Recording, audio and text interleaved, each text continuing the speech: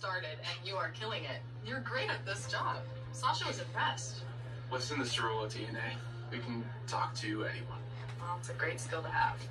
I'll tell my Zia Gloria you said that. So, how do you know Sasha? She dated my brother, Michael. Oh, um, lives in the gatehouse.